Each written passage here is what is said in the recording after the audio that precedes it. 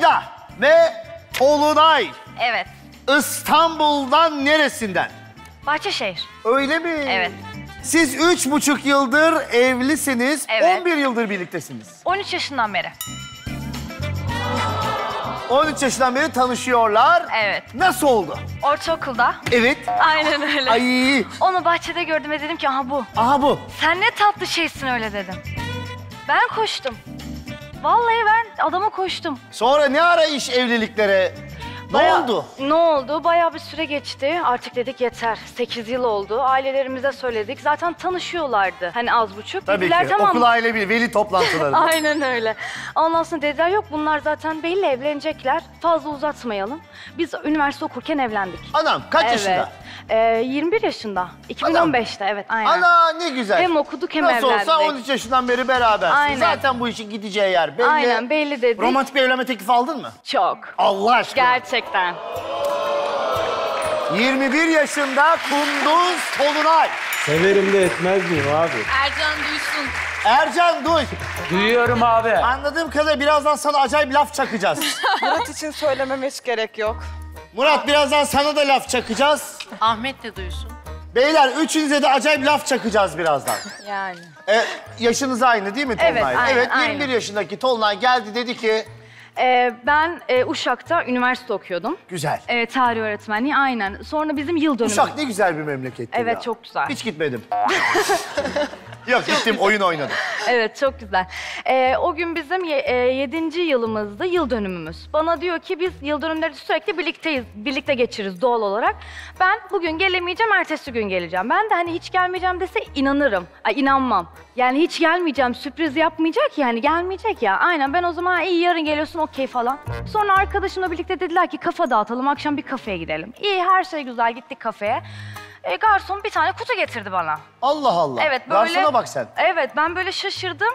Kızlar arkadaşlarım ayarladı falan sanıyorum. Hani Tolunay'ın orada olabilme ihtimali benim aklımın ucundan geçmiyor çünkü ertesi gün gelecek. Aha. Sonra kutuda işte seni çok seviyorum. Kaç yıldır beraberiz işte sen benim falan vesaire vesaire. Yok sen başkasın, Sonra bana yok sen diyor ki- benim bir tanemsin. Sonra bana diyor ki karşına bak.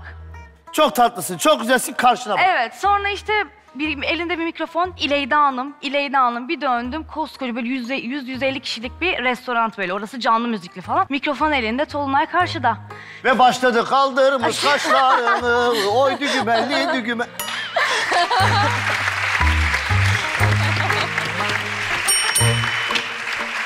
ne diyor mikrofona? Bugün bizim yedinci yılımız. Seni çok seviyorum. Seninle bir ömür geçirmek istiyorum. Yanıma gelir misin? Yanına gittim. Diz çöktü ve yüzüğü çıkardı.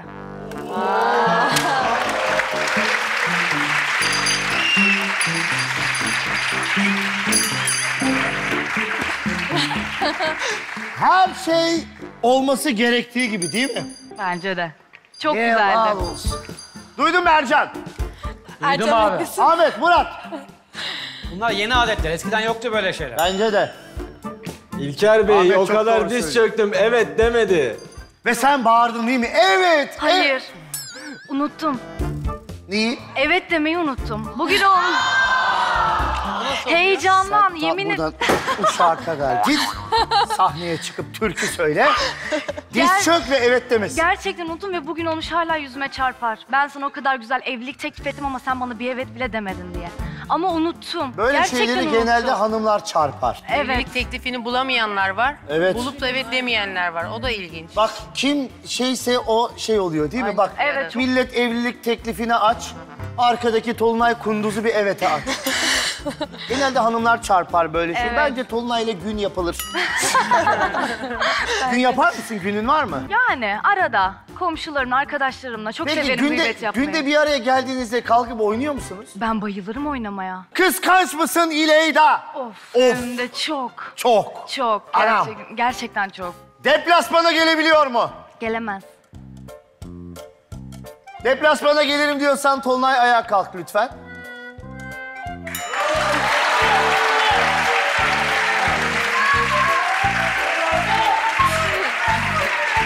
Kimse görmeden oturabilir misin sen abi? İyiymiş. İyiymiş. Çok başarılar diliyorum. Çok İnşallah teşekkür siz ederim. kazanırsınız. Çünkü ben sizi Biliyorum. tutuyorum.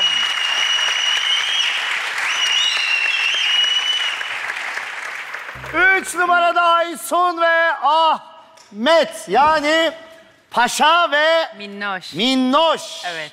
Peki siz... Minnoş da olduk lan. Çok özür diliyorum. 18 yıldır evlisiniz. Evet. Ve 28 yıldır tanışıyorsunuz. Evet. Nerede göz göze geldiniz? Aynı apartmanın çocuklarıydık. Birkaç ay farkla o apartmanın, o sitenin dairelerine taşındık. Bu süreç içerisinde yavaş yavaş daireler dolmaya başlarken diğer arkadaşlar da gruba katıldılar. Sene 89 İlker Bey. kardeşi görümcem. Görümce, Burada, evet. bahçelerde börülce, oynar, oynar gelin görümce. Çocukluk arkadaşım aynı zamanda. Öyle mi? Ne evet, güzel, ne mutlu. Arkadaşlıklar. O arkadaş grupların içerisinde bir gün piknik masamızı açıp, şezlonglarımızı açıp apartmanın gençleri bir arada oturup sohbet ediyorduk. Ne güzel. Ama hiçbir zaman bizim Ahmet'le Yıldız'ımız barışmıyordu. Çünkü tamamen zıt kutupların insanlarıydık. Bir gün arkadaş grubu içerisinde sohbet ederken konudan dolayı çok ciddi anlamda damarıma bastı ve inanılmaz derecede benimle inatlaştı. Ben de kesinlikle inatlaşmaya gelemem. O noktada film koptu ve Ahmet ayağa kalkıp bana şiddetli bir tokat attı. O, Çocukluk. Aksi takdirde yapılacak bir şey değil bunu Sene hepimiz biliyoruz. 89 tokadın İlker Bey. 14 üzerine ben de gayri ihtiyari kendimi koruyayım derken şezlong kapandı. Arasında kaldım, sıkıştım, yere düştüm. Oradaki arkadaşlar bana güldüler.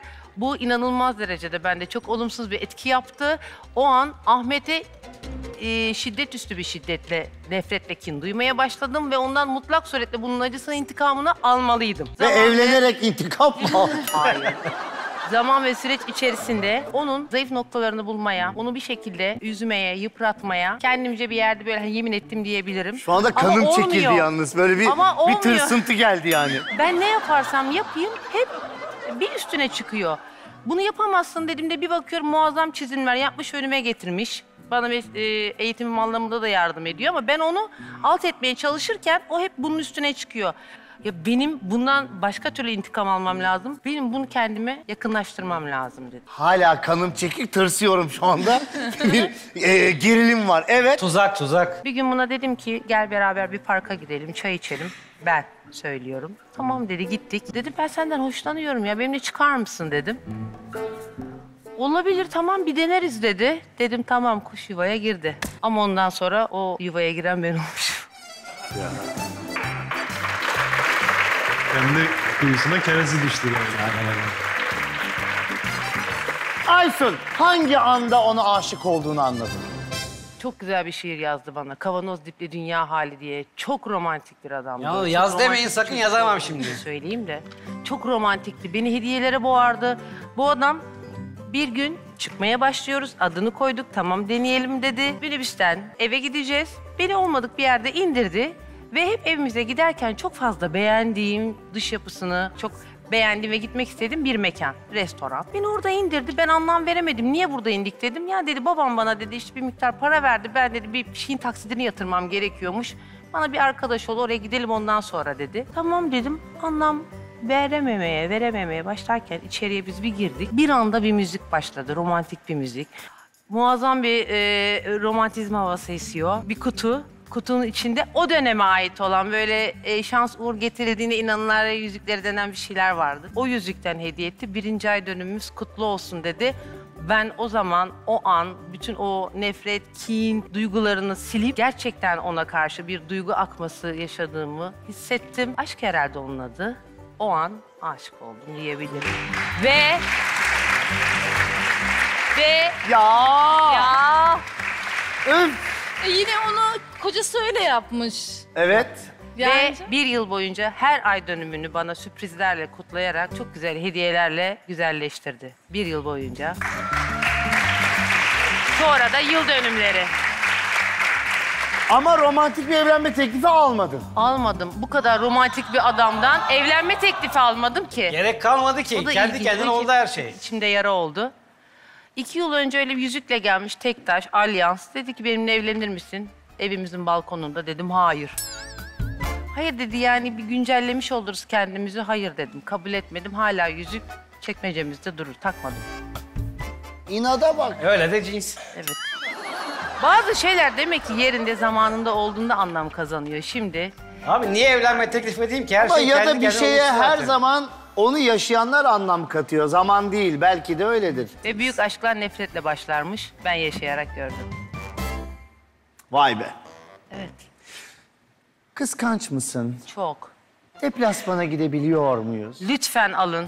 Lütfen götürün. Biraz futbol vari terimler öğrensin. Stadyumda futbolcuları izlesin. Bilmiyor musun sen de? Gibisin. Ben de aynı. Açın lütfen. Çok gideceğini. ciddi söylüyorum. İlker Bey. Alın Ahmet'i gezsin. Dep. Geceleri aksın.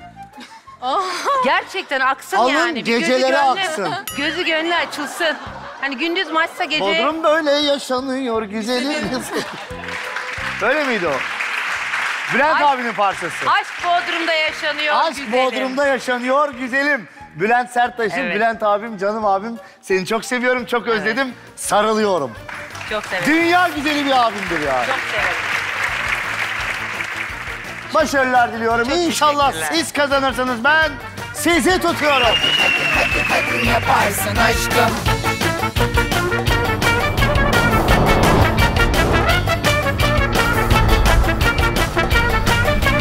Aslansın kaplansın yaparsın aşkım